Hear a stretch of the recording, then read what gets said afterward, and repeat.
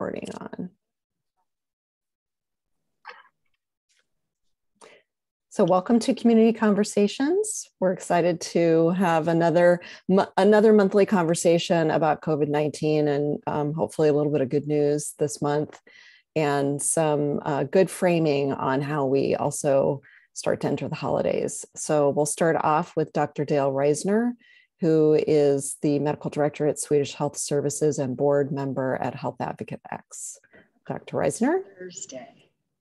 Hi there. Um, so I um, am pleased to be back. Um, we had a fabulous annual meeting and um, uh, covered uh, a number of topics around COVID and post COVID and ongoing pandemic. Um, and we'll continue to address those with these community conversations as time goes along because the impact is long reaching.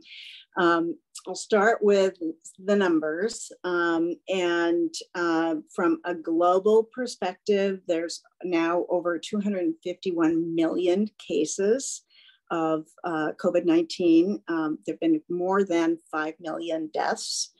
Um, in the US, we're over 47 million cases and uh, 761,000 deaths. So it's high, really high. Um, Washington State, I like always like to put that into perspective because a fair number of you are from here. Each state is easily accessible through CDC um, and um, if you're interested in details about your state, there's lots of information, case rates, um, uh, rates amongst minorities um, and, um, and other types of um, information, hospitalization rates and so on.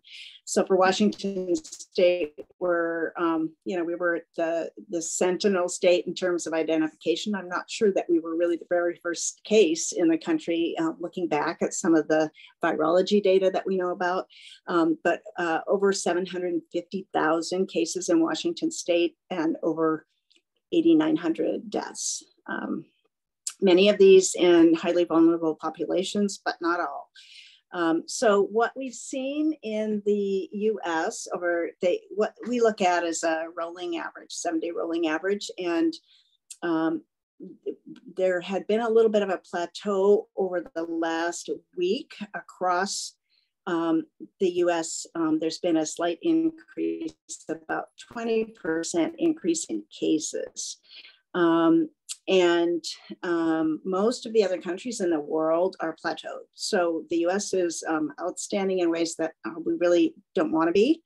Um, there are pockets, obviously, some places where it's very plateaued and others where there's still a lot of activity. Colorado's gotten very, very um, high rates recently, and there's a lot of focus on changing the, the um, governor's um, recommendations for that state.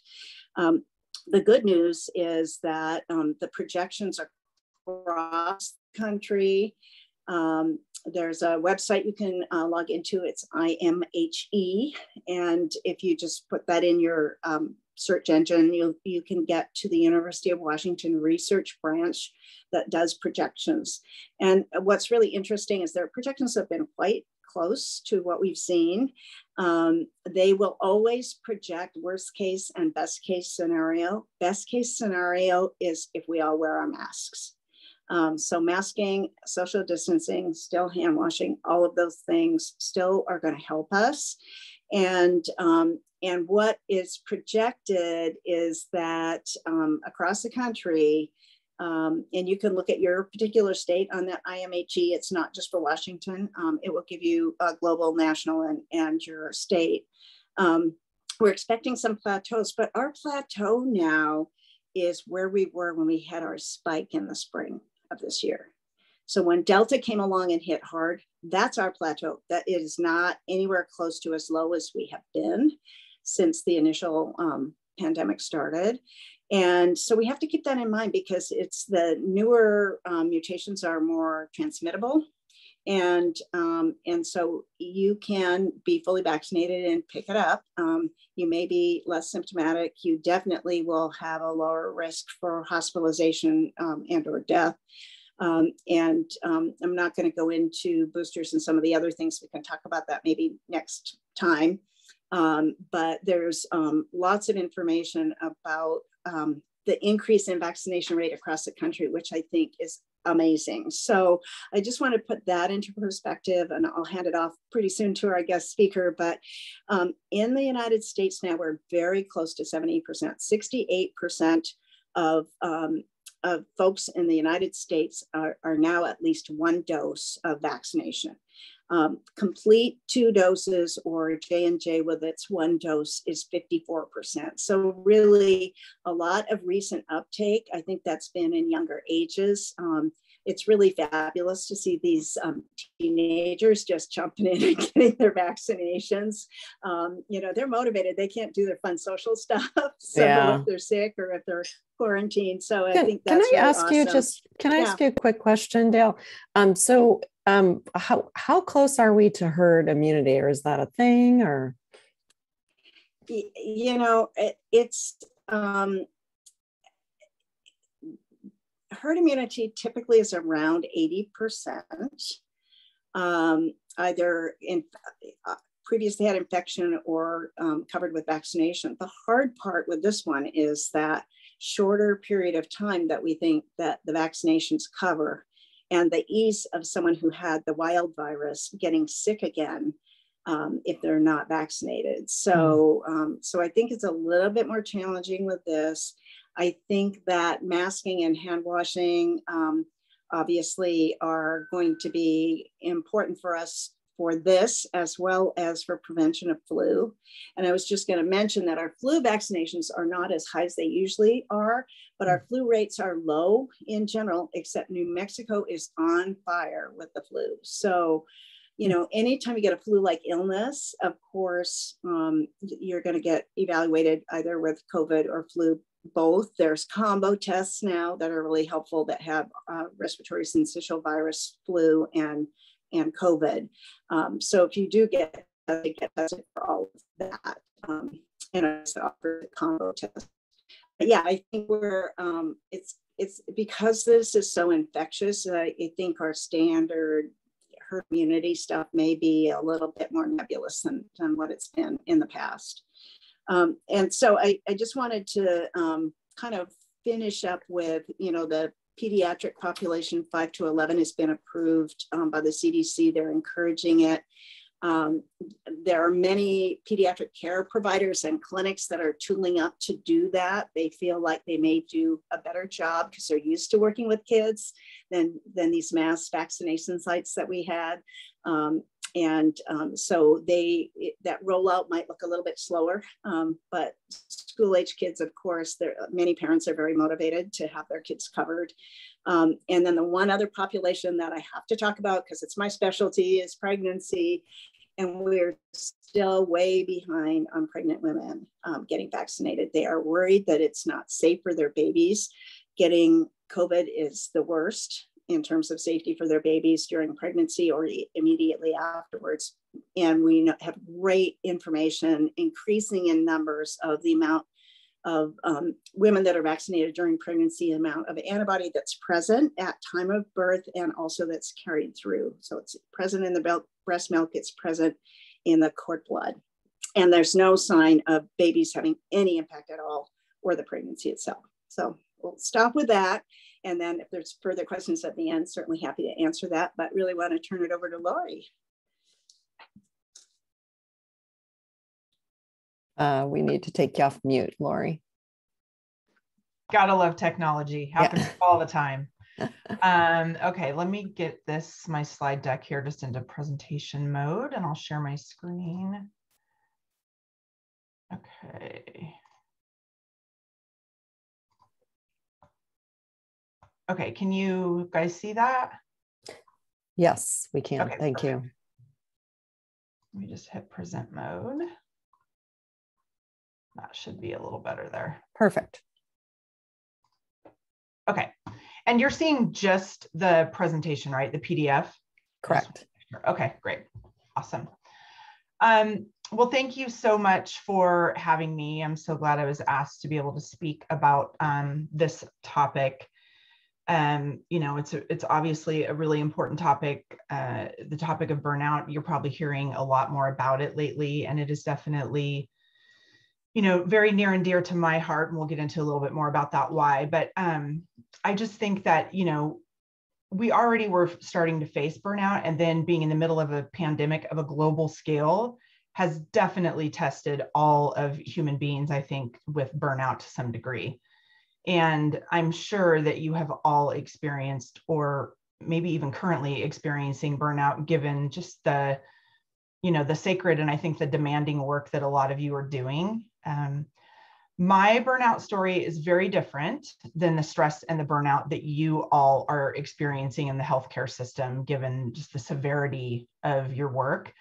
And i just want to be clear that i don't want to pretend to know the stress and the pressures of your work um, but together, I just think that we all need to go through the process of understanding what burnout really is and what it truly means to live in a world with a burnout epidemic happening all around us. And I think we can all kind of re educate ourselves and start learning more about this burnout and the kind of the role that we can all play in, you know, stopping the spread of burnout. Um, and I just, I, I would be remiss if I just didn't say um, for all of you that are on this call that are in the healthcare capacity, um, I know there's so many different roles and things that you're doing, but just honestly, thank you for all that you do from the bottom of my heart. Um, you know, my heart and empathy and compassion and gratitude just go out to all of you. Um, I recently lost um, my uncle to a massive stroke and brain hemorrhaging and the care that was extended to him in the ICU was honestly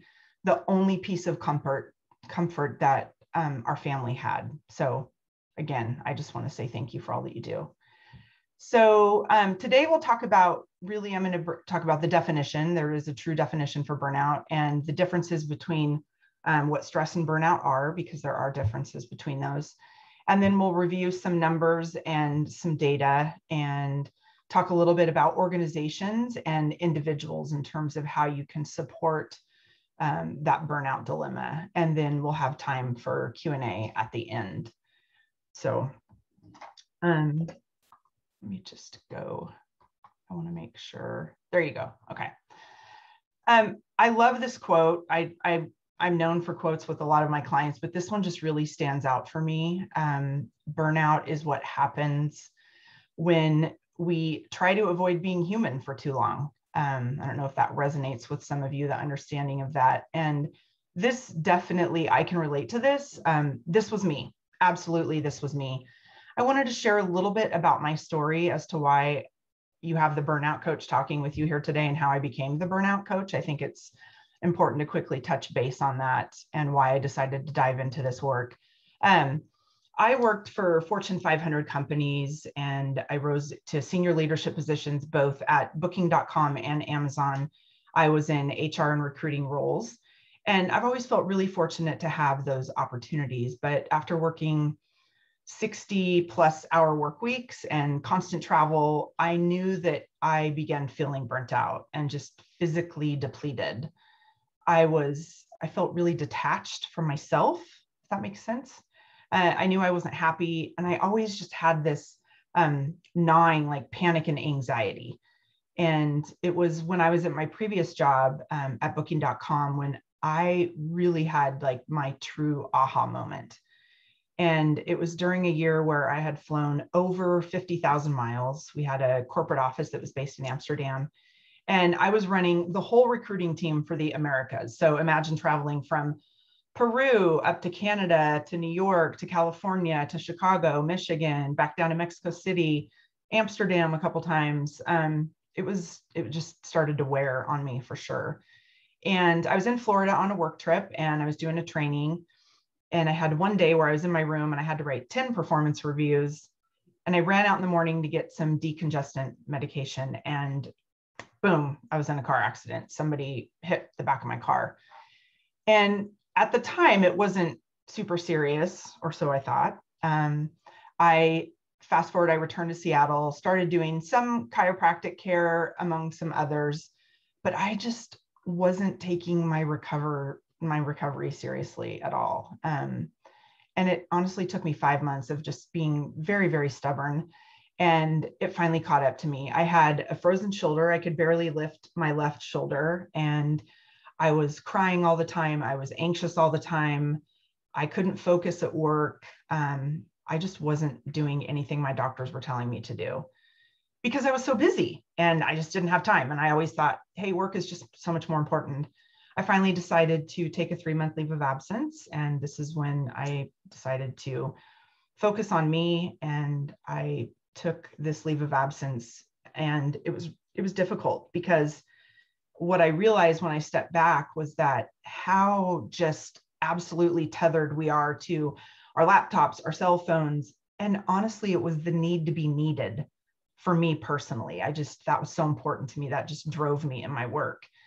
And I sat back and reflected and realized that I just lost sight of my true self. Like everything became about work. It was literally my whole identity as a human being. And so I realized for me that while corporate America is, great, it just wasn't great for me anymore. I just, I couldn't continue to keep going at the pace I was going. So with that, I decided to quit my job and I took a year off and I did a coaching certification program that really did change my life forever. And now I'm just super happy about dedicating my career to helping clients abandon burnout and work on burnout prevention and just embrace authenticity and balance and joy um, in their lives. So that's a little bit about me and how I got into this work. People say, wow, the burnout coach, how did, did you go to school for that? How did you become the burnout coach? So I think it's important to kind of share my story that gives a little bit of street cred about um, the work that I'm doing. So and with that, we'll dive into, there we go, some, I wanted to talk about just some numbers, kind of um, burnout numbers and data. Um, currently, there are, we have over about 42.1 million Americans who actually quit their job in 2019. And we, it's been greater than 4.2 million people who handed in their two weeks notice just in August alone. So this is these are this is data and numbers from across the U.S. Um, we're in a time right now that is being referred to as the Great Resignation. I'm sure you've heard some of that potentially on on the news or read about it. And just from April to August alone this year, at least 2.5 million Americans have quit the workforce altogether, just saying, I'm quitting my job or I'm going to go do something different. And these levels for 2021 and we're only at these were these were given through August are already at 15% higher than they were in 2019. So it's kind of eye-opening. I mean, I'm sure a lot of you are feeling some of the pressures of losing some of the best out there in terms of what's going on. Um, these are a few more um, numbers. There's a company that's called Visier, and they support organizations and companies in people analytics and running surveys. So this was a survey that was done, a burnout survey across thousand employees across the US in, in various different careers. And here are just some of the results of what we found. Um, that it's clear less than half the people realize that just by taking time off or taking a vacation cures burnout. Um, obviously, that doesn't happen. Uh, 89% of those people have actually experienced burnout. And this is a piece that was interesting to me. Um, 70% of the people said that they would leave their job for one that offered resources to reduce burnout. So there's this really big trend right now going from it's just the individual's responsibility of burnout, that it's like it, it's just a me thing, to it's a us thing. It really is. Um, companies and organizations are really starting to look at what can we do and that realizing they have a responsibility as well in, in looking at reducing burnout. Um, this is one that I pulled some information because I wanted to give some healthcare and get a little more specific instead of just speaking about um, corporate America. So these are some burnout by the numbers. There was um, a recent survey, roughly 21,000, that was done in Minneapolis of healthcare workers. And it showed that 38% have been experiencing anxiety or depression, 43 are work, you know, suffering from work overload, and 49% were experiencing burnout. Um, and the stress scores were the highest among nurses, respiratory therapists, nursing assistants, housekeepers, as well as among women, Black, Latinx health workers. So this is definitely showing up heavily in specific sectors. Um, the interesting piece again, leading to the fact that the organizations are starting to, you know, understand their responsibility in some of this is that the odds of burnout were 40% lower in those who felt valued in their organization. So I think that's important just to notice, you know, some things and some trends in terms of what we can start to do to support that. Um, this one was a little scary, and I'm sure you guys have seen some of this firsthand. Um, this was a um, data that was pulled out of the Australian Medical Association that 47% of training doctors said that they had made clinical error due to fatigue and just burnout and everybody you know literally it's like everything is on fire especially at the very beginning of covid when it's all brand new. You know there's no playbook for this i'm sure as you all experience and not knowing exactly you know what to do. So just knowing that um, you know burnout is definitely serious it can lead to other things depression anxiety substance abuse that is absolutely happening out there. Um, so, um, you know, I don't, I don't, I don't mean to be grim, but this is really the stark truth and why it's important to start to pay attention to burnout because oftentimes the signs of burnout just go unnoticed. People just think, oh, we're just stressed out. It's normal. We'll get through this. You know, it's fine. Um, and it's not necessarily the case. So, um, a couple things I just wanted to point out. There, I don't know if you guys are aware or have heard of. You might have the story of Dr. Lorna Breen, who it was a story in the New York Times. This emerged at the beginning of COVID, and she was an emergency room physician in New York Presbyterian Hospital. She'd been on the front lines um, of the COVID 19 surge at the very beginning, and she contracted the virus herself she uh, confided in her family and friends that she had anxiety and exhaustion and just feeling very uncertain and overwhelmed for her patients, but also for herself. And she also spent um, short time actually in a psychiatric ward to get support. And after recovering, she returned back to work. She was facing back to back shifts, multiple locations, and within a few days of that, she was gone. She actually died by suicide in April of 2020. So her family is out there really talking about the importance of we need to make it more um, just known and okay to talk about the fact that there are mental health support that's definitely needed in in the profession. So um, there's a lot of information on these slides and just know you guys that I'm going to make sure Robin gets a copy of the slide presentation. So you will be able to have access to that and to the data. And there's hyperlinks in there so you can see everything. Um, let's see here. Okay. I wanted to get in, talk a little bit about just really kind of defining burnout. So burnout was actually started to get defined in 1974, but I really like the way that the World Health Organization is defining it now because it's becoming more and more clear that it's really not just an individual situation again of the employee, but it really is more about the organization and you know where people are working at. So as a syndrome conceptualized as resulting from chronic workplace stress that has um, not been successfully managed. And they put it in kind of there's three um, buckets um, or dimensions of it, which are feeling feelings of energy um, depleted and exhausted, increasing mental distance from one's jobs, or feeling negativism, negativism or cynicism. And then the third is um, reduced professional efficacy, which clearly in healthcare is scary. Um, and so, again, it is really about talking about burnout is really it's it's your organization. It's not just you as a person, as a human being alone, which I think is important too to be able to talk about and have people start to um, sense and feel and realize that it's not all just about them, but you know the individuals where they're engaged at and working in. Um, this slide's pretty important because I, I've actually often had a lot of people come to me and say, hey, I just, I think I'm stressed out. I don't know, I might be burned out. I don't know, is there even a difference? What does it all mean? Um, there is actually, a, oops, sorry, got a little excited there in the slides. There we are. Um, burnout may be the result of unrelenting stress for sure, but it's not the same as too much stress. What I mean by that is stress involves too much. So you have too many pressures that demand too much of you physically and mentally. However, stressed out people still imagine that they can just get everything under control and that they'll feel better as soon as they can get everything done and that that stress will go away. Burnout, on the other hand, is about not enough. So being burnt out means feeling empty, mentally exhausted, honestly devoid of motivation, sometimes even beyond caring.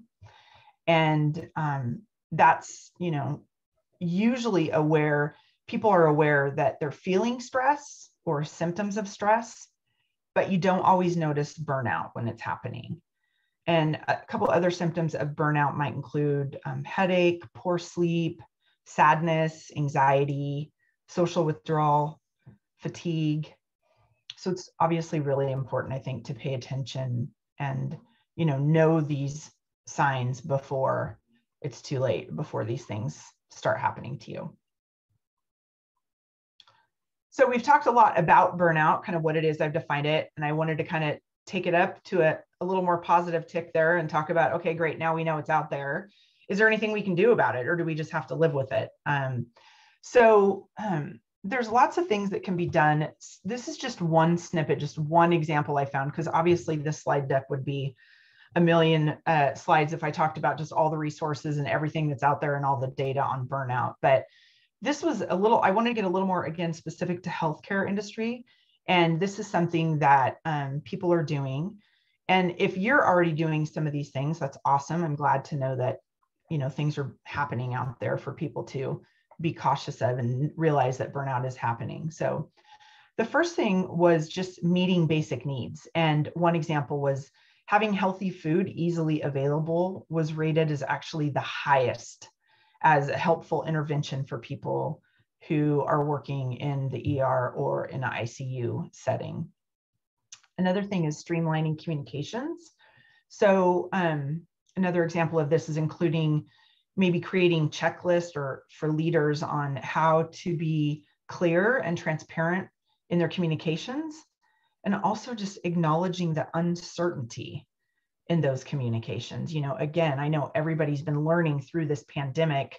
There's no textbook. There's no way to know exactly how to handle it. We kind of take things as they go day by day another is allowing for reflection and processing um, which i think is really important um, this is about creating opportunities for people to have shared experiences and talk about what they've been going through for the past year. And so, kind of creating a support group for employees, if you will. Another one is to make it okay to get help. Um, you know, many people that um, say that they had personal access to mental health care said that they would it would be more helpful during a time, especially during a pandemic. And going further to just normalizing help seeking that there's nothing wrong with that. Um, i always say that there's nothing weak about asking for help even when you're the helper. I think it's probably even more important.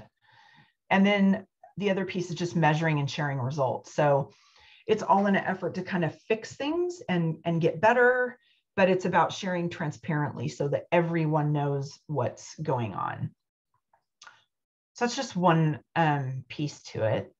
And then there are a couple other things I found out there that are supportive for healthcare specific. I'm sure you guys are aware of these on the American Medical Association website. And it's not to say, I don't want to make it sound easy like, hey, just, you know, get Headspace. You can get Headspace for free if you're an AMA member and it, you know, meditation cures burnout. I'm not, I'm not saying that at all.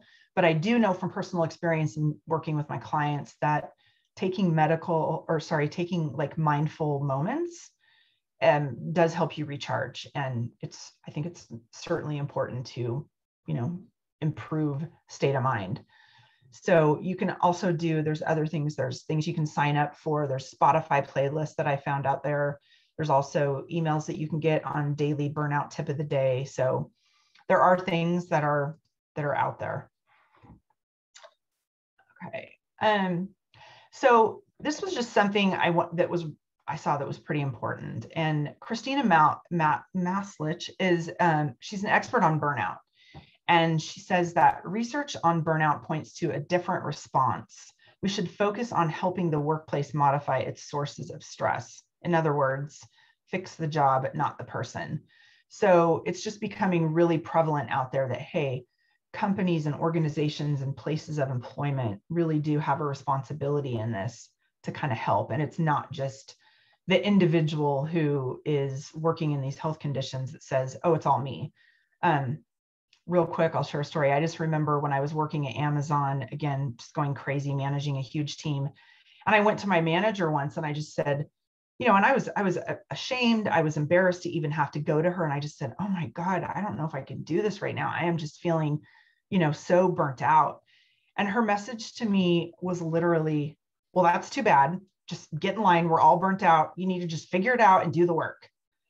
That was the the care that I got at that point. And I just remember thinking, "Wow, I mean, I know I can't be the only one that's working in Amazon that is feeling this way and it's kind of a shame that they're not doing anything to address this and this is how you know they're responding to the situation so.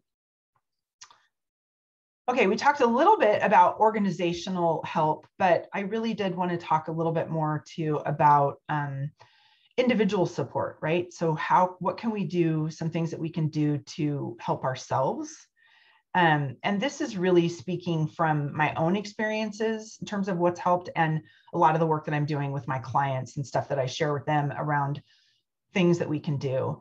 And again, this isn't going to wipe out burnout for all of us, but this is just taking one baby step. I just think about, you know, if you can do one little small thing for yourself to help, you got to do something because we can't just stay in the same situation of feeling this nonstop burnout.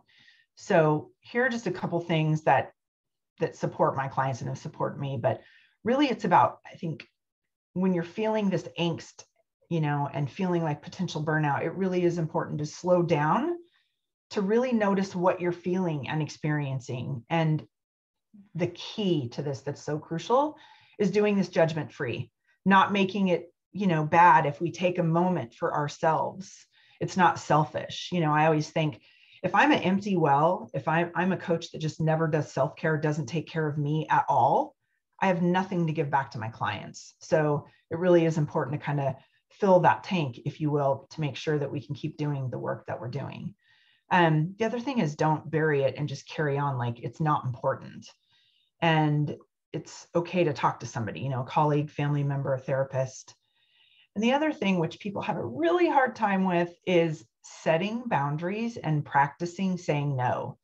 Um, even if it's something really small, it's still really important practice to um, start doing in order to make sure that you can set boundaries and take care of yourself.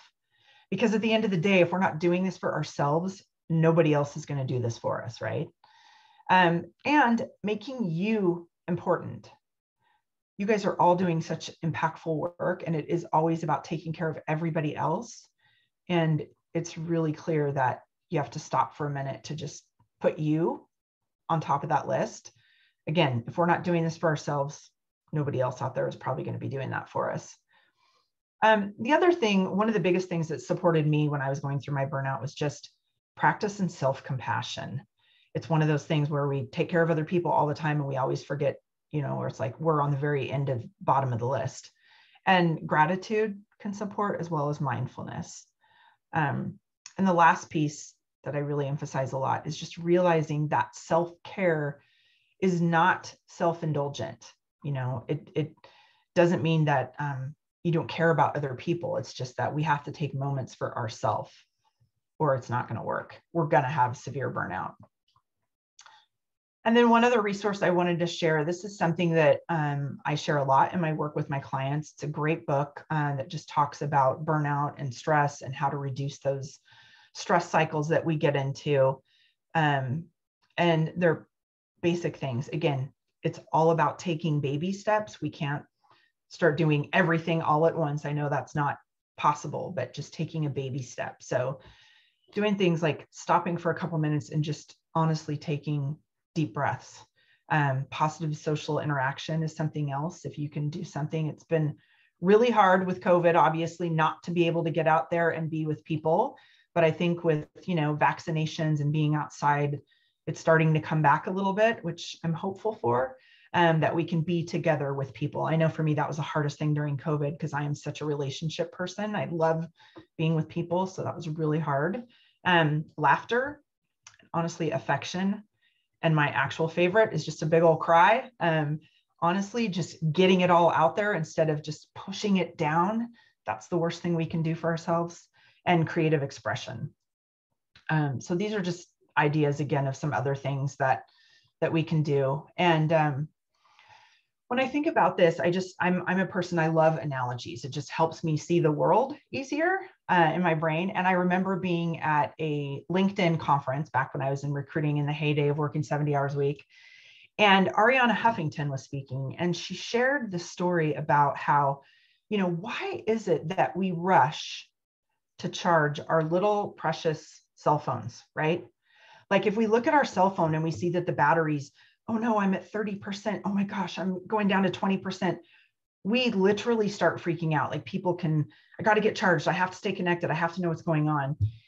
And what's interesting is yet if you view us as that as human beings, we don't do this for ourselves, right?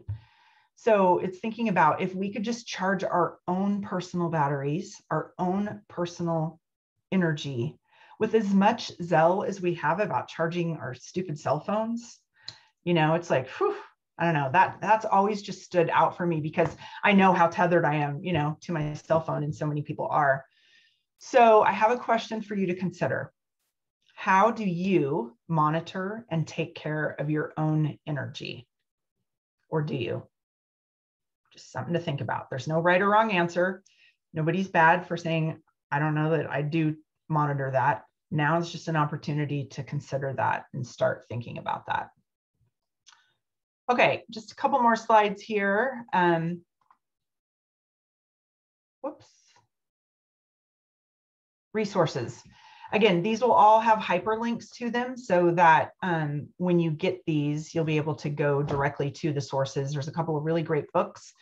I put a book up here that's really important, I'm guessing, for people in the healthcare field um, y'all are a very, very special breed, and um, empathy has got to be huge at play for you. But also, when you're an empath, it's a much easier for you to burn out and to get depleted. So, this is a great book on um, how to not do that. And then a couple different articles on burnout, as well as some podcasts, and then a couple of websites that have a lot of great, helpful, and useful information. And then I have two slides in here, which I don't need to go over, but this just kind of talk about if you're experiencing burnout, the work that I do, some my clients who I coach, what that coaching looks like. And then I just wanted to say thank you so much for the opportunity to be with you guys today. Um, and thank you for letting me just talk about such a important topic. And I hope that maybe one thing sparked for you that you feel that you can help with yourself if you're experiencing burnout.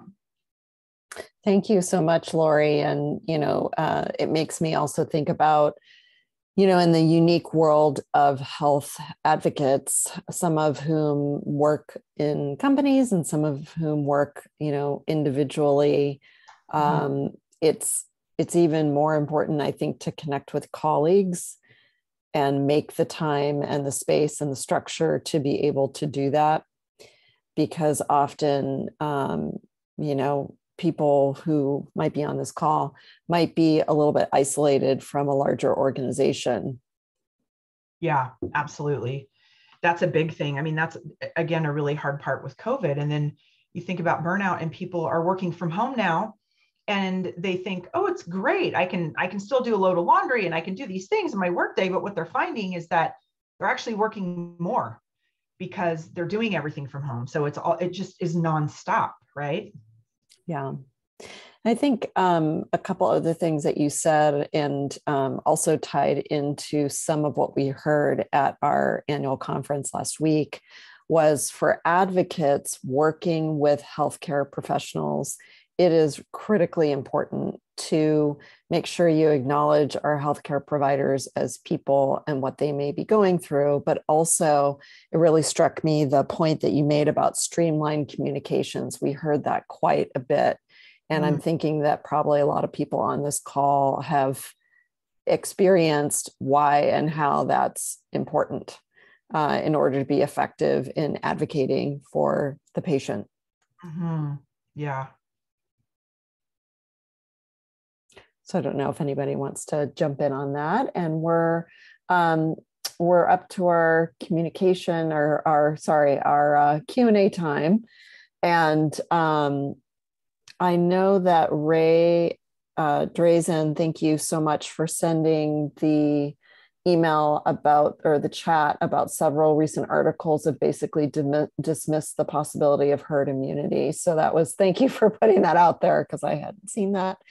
And she also asks, she also asks. yeah, that's Dale, why I called it nebulous. I don't, Yeah. I hate to blow the bubble totally. yeah.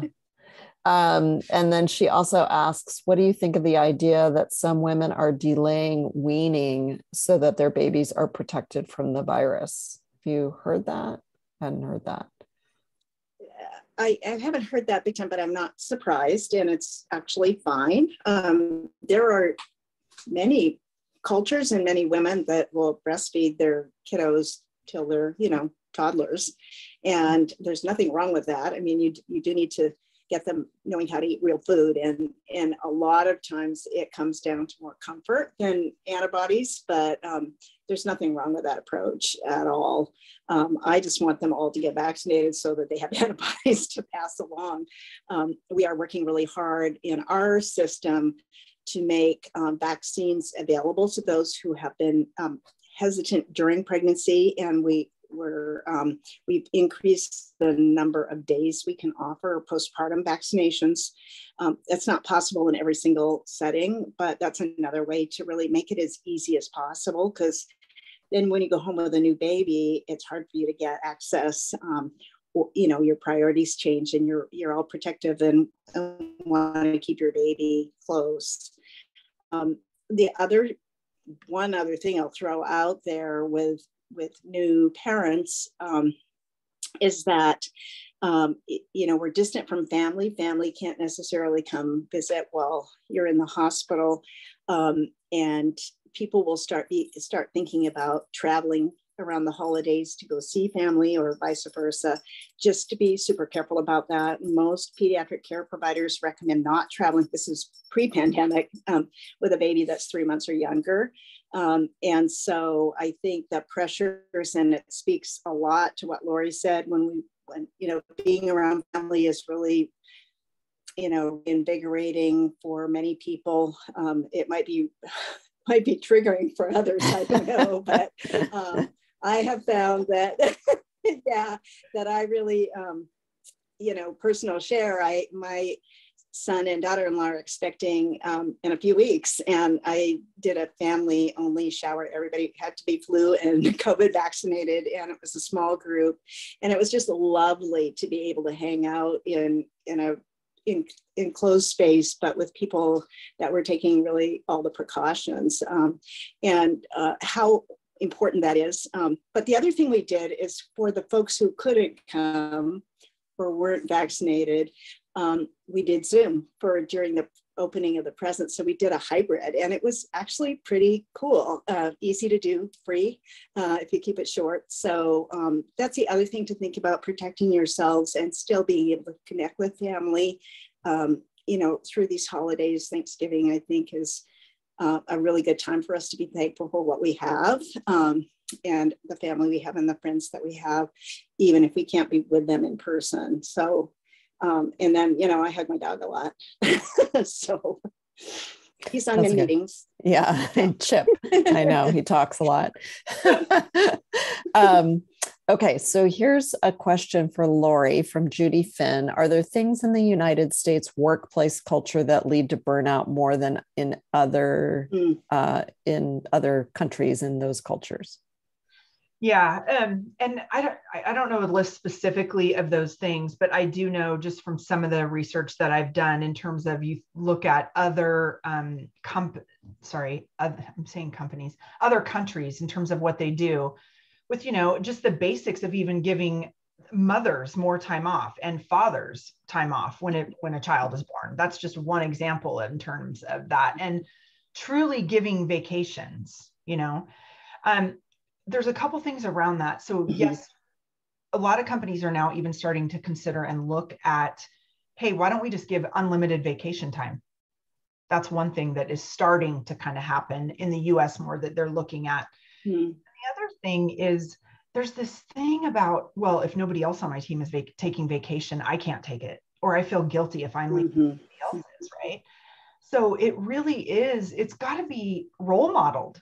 I mean this really does come from leadership and the top down in terms of hey not only am i going to take vacation time but guess what? You can't reach me. I'm not going to respond to email. I'm not going to respond to text. I'm not going to you know you need to figure it out without me being there right? So yeah. there's some that that is actually happening and there's other things. Um, I always brag about this really amazing company in Seattle. It's a small startup of women, um, and it's an HR company called mm-hmm. And they do things like, hey, we're going to do a team hike. Okay, we're going to go out and be outdoors instead of on Zoom talking about stuff that we would talk about over a meeting. That's one thing they're doing, giving their um, people the time to take off if they need it without questioning them like do you really need to take the day off or is it you know it's that should not be even a question. If somebody's requesting time off take time off. Yeah. You know again we all need to recharge our own batteries right? So there's lots of little things that are starting to be considered and viewed.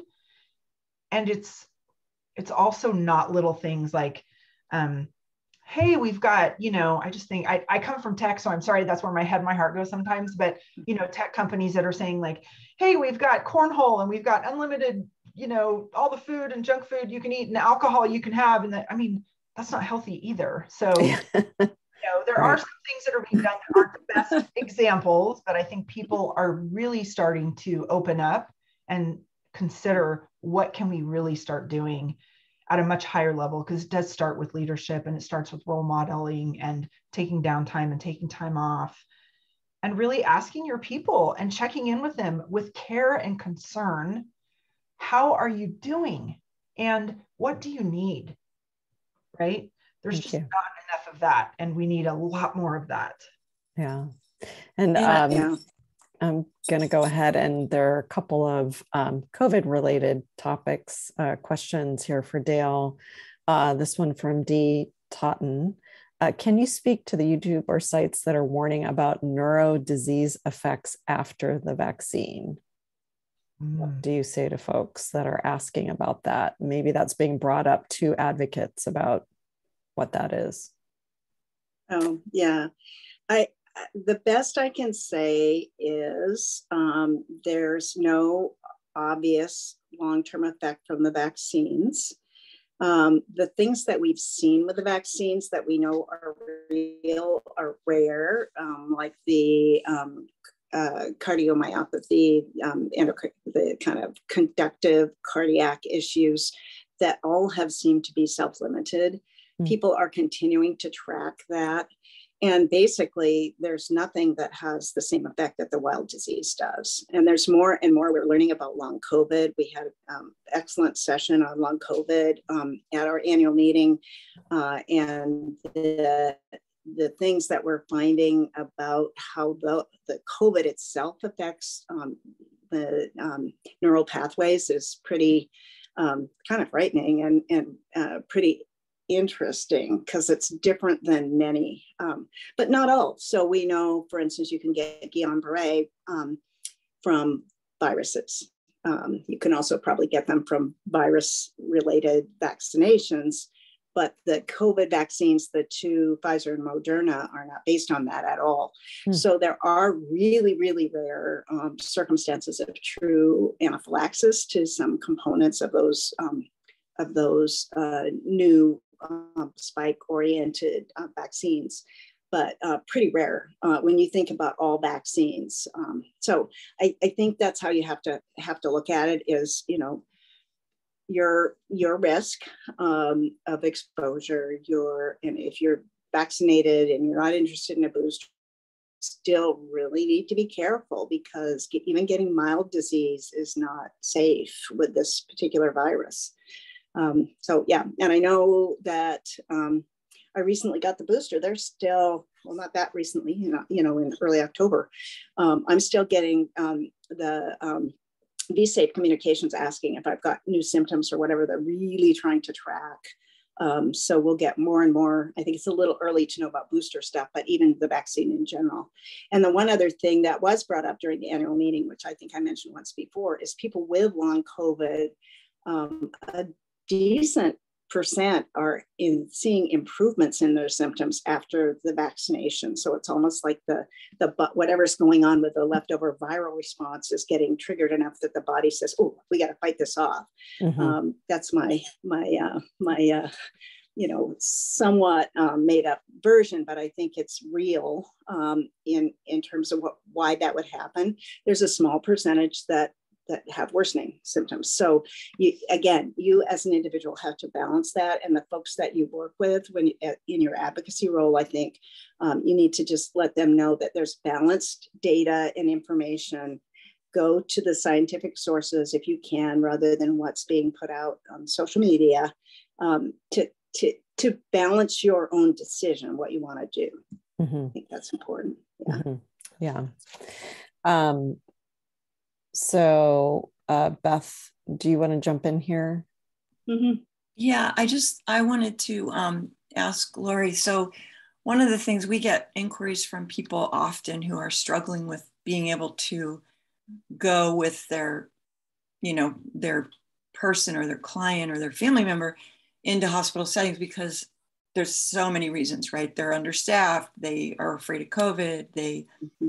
And so I think it must be challenging for hospitals right now mm. to be empathetic to this whole need for people to be taking time and being, you know, taking care of their person. And I'm just wondering if you've had any interaction with healthcare organizations or if you've heard, you know, of coaches being successful in working with them, because I would imagine it's really hard time for them. I'm sure Dale knows that because she's actually working in that field. But um, you know, I think personally, advocates, nurses, doctors, whoever's whatever job they're doing, have to be able to do that themselves, even if their organization is not able. Um, yeah. Yeah. Um, and there is um, so the the coaches that I know are a lot of executive coaches within mm-hmm. corporations, not mm-hmm. so much within healthcare. But mm-hmm. again, I'm a research freak, so I'm doing research. I, I literally get pings in my inbox. I have the word burnout in a Google search, so I get at least 30 different things a day. And so I'm just hungry for, you know, all the data and I want to keep up on all the information that's going on out there in order to be good at my job, right? Mm-hmm. And um, I did find research that there are people that are working with coaches like at executive levels and I and I hate to say this, and I'm not saying this is where it starts, but it does start at some of those executive levels, right? So mm-hmm. it's those leaders getting coached and understanding what's important about what they value, what's important to them, how they can best serve the hospital or where they're working at in terms of all of their employees and truly what the needs are.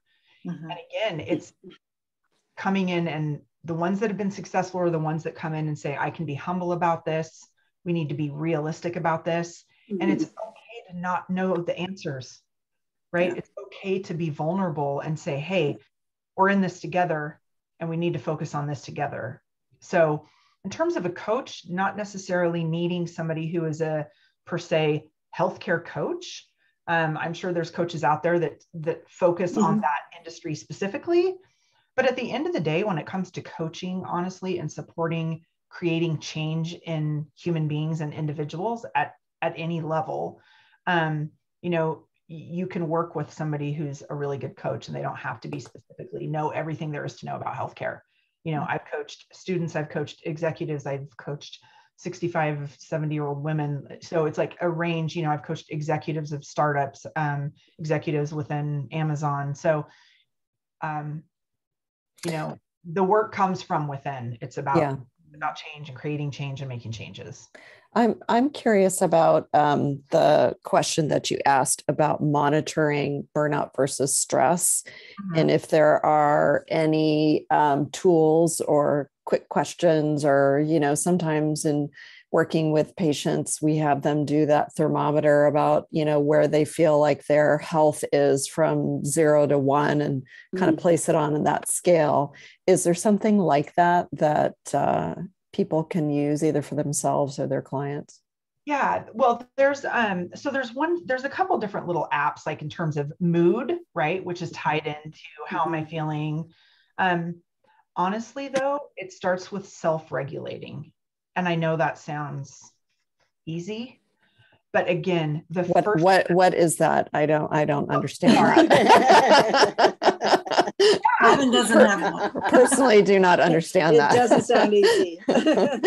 I'll start with you. No, I'm just kidding. Um, honestly, it is about me. really hard. I mean, I had to learn, and again, the only way I learned is because I had a massive burnout. I had a massive breakdown before I had my breakthrough, right?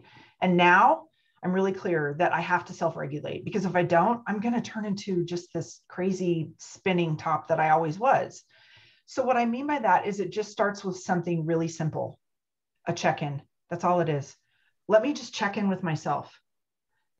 And I know this sounds kind of a little TMI, but even for ladies, it's like we're going crazy oftentimes for me, it's when I'm out and about doing things. And if I stop for a second and I just literally use the restroom and I know I'm going to have to sit for a second, it's like deep breath, like, okay, how, how am I feeling? What's going on for me right now? Am I doing okay? You know, but you have to be, again, judgment free and really, really open and vulnerable with yourself to say, how am I feeling?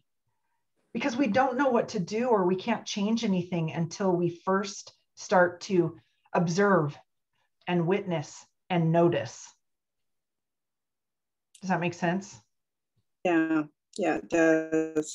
I, I, do want to add just um, to to Beth's question, I think, um, about the healthcare industry, because uh, burnout, as um, Lori noted, um, is something that's been a problem long before the pandemic. The pandemic has just made it worse. Um, and there are organizations that have been doing a lot of work in trying to minimize the things that add to burnout just in terms of daily practice. So it's the one thing as an individual to reach out and to self-regulate and to self self-acknowledge if you're in a lot of stress and whether that's manageable stress or whether it's something where you have to to stop and do something differently. And also, I think to build in, um, and I believe you mentioned this, Lori, just build in things in your day where you have to automatically stop, whether it's a walk, whether it's standing up, moving around away from your desk, whatever it is, and build in alarms if you have to, if you don't have that self awareness. But um, for instance, um, when you look at providers, electronic medical records, it makes people crazy. They waste a ton of time. Yeah. So there's been a lot of work done with that. And how do we minimize that? Minimize number of clicks, minimize what we call pajama time. So you put in your whole day seeing patients and then you still have to go yeah. home and or stay late to finish all your documentation. Mm-hmm. So so that that work hasn't stopped, but uh, it, you know, it's really recognized that there are things you can do from a system perspective as well as from an individual perspective to help minimize um, all of the the um, burnout. And in Washington State, you actually uh, an employer, at least the big employers, I don't know for small businesses, you actually can't ask why somebody's calling in sick.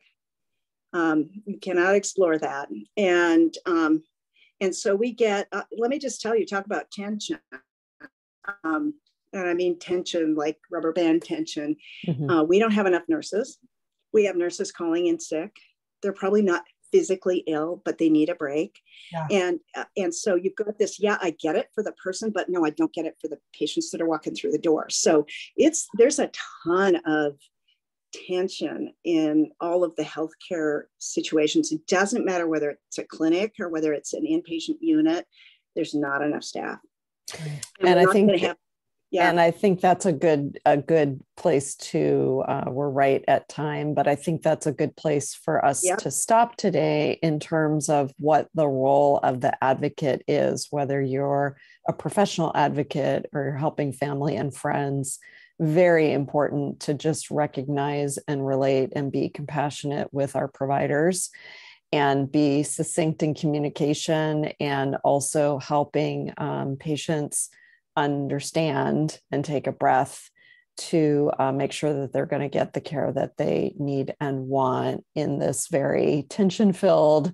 Uh, I, I, like the analogy of the rubber band tension filled uh, time period. So mm-hmm. just I just want to thank uh, Dr. Dale Reisner and Lori Prutsman, and um, we will be sending you Lori's slides in a follow up email with a survey as we always do. So please give your feedback. Uh, great to see you today, and we will be having a community conversation in November. We'll probably be focusing on the pill that's coming out and boosters and holiday time and a whole bunch of other things. And hopefully it'll be better news. Fingers fingers crossed.